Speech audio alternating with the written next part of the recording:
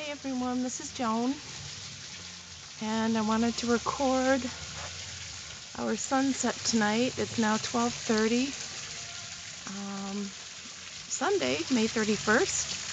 It's our fish pond, and over here, I guess our neighbors are having a party. You can hear music.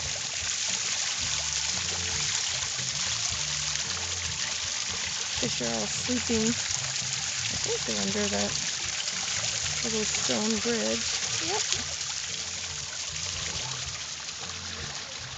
So this is one of the very few awesome things about living here in Alaska is that um, at this time of year it doesn't really get dark, especially in another month on the 21st of June is the solstice and it really doesn't get dark. Okay so here is sunset and I don't know if this is going to get the colors show them as brilliantly as they look in person. Um, but this is sunset at 12:30 in the morning. What's interesting is we've had a lot of well, three in the past week earthquakes that we've been able to feel and hear in our house. Uh, they make a kind of a rattle noise and rock and roll the house a little bit, but so that's our neighbor's house.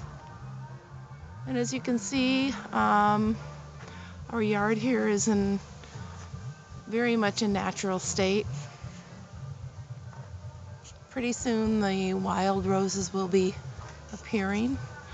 And while they're beautiful, their little tiny thorns are not a lot of fun because if you're trying to garden, they get in your feet and they get in your fingers and oh you know what? I should show you our garage.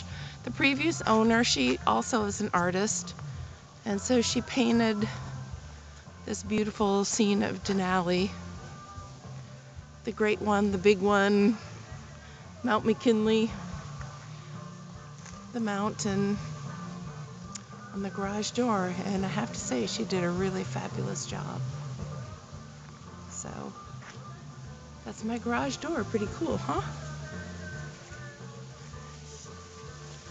And there's our gazebo. There's the sunset again.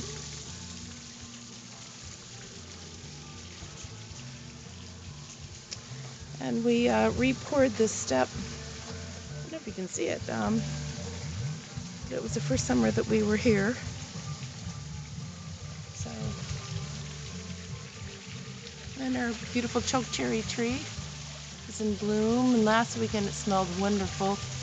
Now the smell is kind of going by the wayside, and as you can see by all the debris debris on the ground. Oh, there's some of the fish the petals are falling.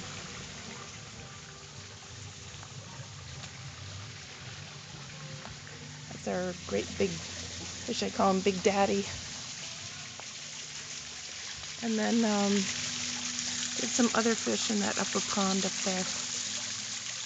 Right behind that nice white bird. So, anyway, I'll let you go. You guys have a good night, and I hope to do an actual makeup video soon. Take care.